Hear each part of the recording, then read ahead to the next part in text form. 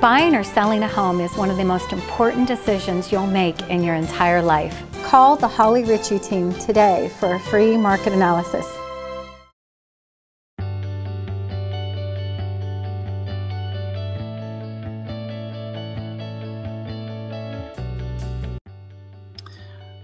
Uh, good question, Anthony. Um, why did I want to go into education? Well, um, I was around it all my life. I uh, had family members that were teachers.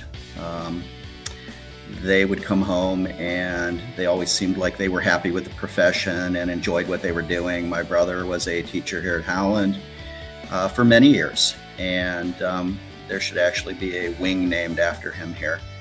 Uh, my wife, um, who we've known now for well over 30 years, and she was a teacher, first grade teacher at Struthers.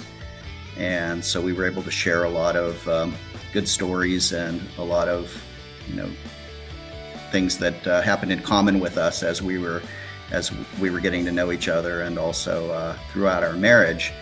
Uh, my youngest son has also gone into the professions. I'm sorry, my oldest son has gone into the profession as well. So um, it seems to be in the blood for, for some reason. Um, I think the biggest reason that uh, I wanted to get into education in the first place is to cultivate relationships with young people.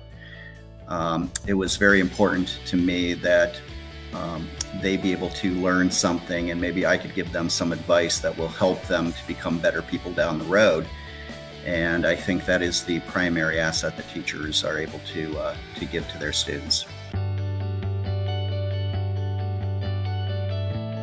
Well, the biggest factor that has helped me to be successful, um, if that's what you consider I am successful, hopefully, Um, there's there's a couple things I could give advice to, and the first thing is is please do not be a phony in the field of education. If you don't know something or you're not quite familiar with with a topic or a subject, uh, don't wing it and pretend like you do because the kids will call you out immediately. They're they're smarter than you give them credit for.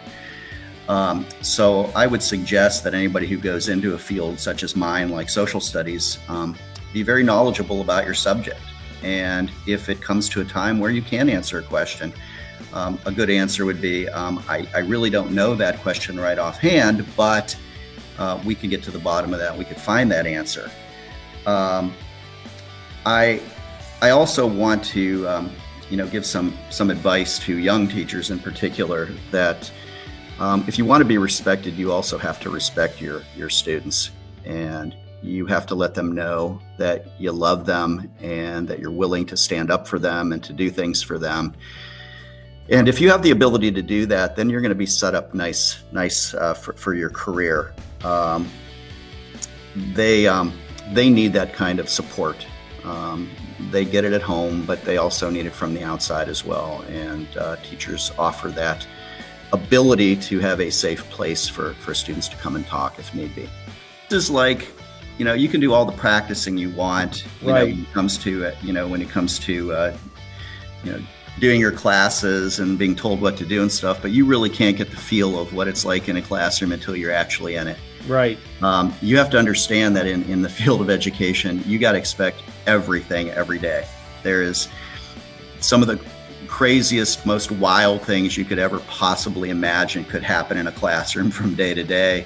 And if you're not ready for that kind of uh, experience, then you're in big trouble because uh, you never know what you're going to get when you walk through those doors every day.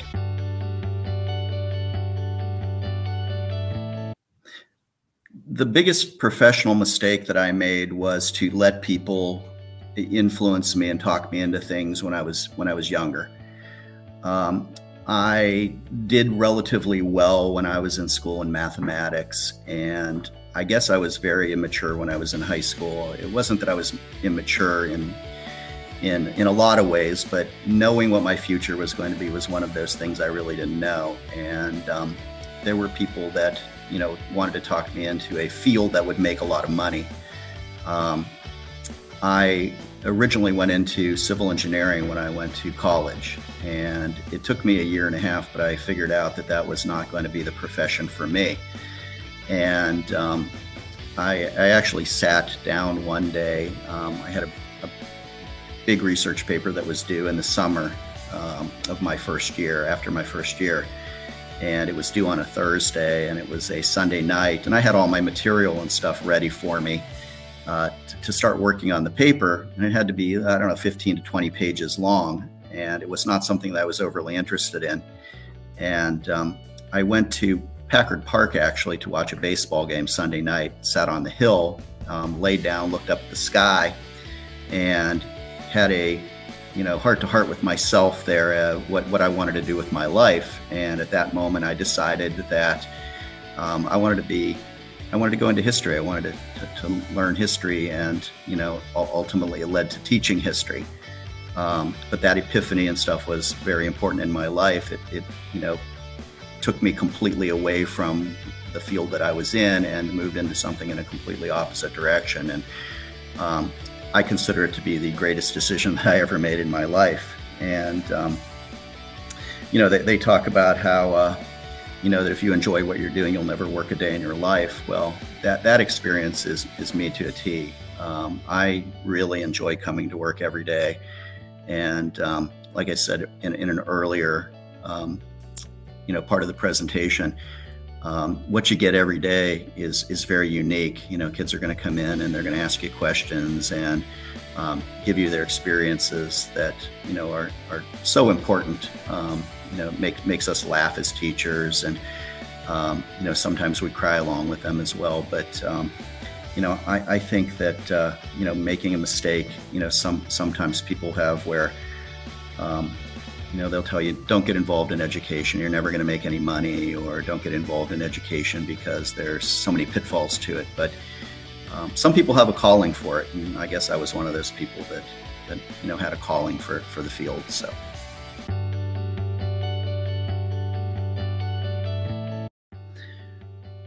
That is a really tough question, especially since you're talking to a history teacher. Uh, there are so many people in history that you know you would love to have conversations with and you know pick their brains and stuff. I could narrow mine down to probably two people. I don't know if i could do just one but um, my, my first one would be winston churchill. Um, you know winston churchill had his career almost completely ruined in world war one by making some um, dubious decisions um, yet he rebounded from that and you know was put in power in, in great britain um, after appeasement and single handedly probably helped England survive the German onslaught. And, um, you know, I would certainly like to pick his brain about, you know, his mentality and that, that steel attitude that British people have and, you know, why he was able to overcome all of those failures and stuff and still lead Britain on to victory. Um, the other person is an American. Um, my favorite president has always been Harry S. Truman. And Truman was amazing to me because, um, you know, he, he had on his desk a sign that said, the buck stops here. And, you know, as a leader, sometimes you can't make excuses for your actions and you have to do what you feel is necessary. And Harry S. Truman was willing to accept the responsibility. And, you know, he made one of the most difficult decisions in the history of mankind when he decided to drop two bombs on, on Japan.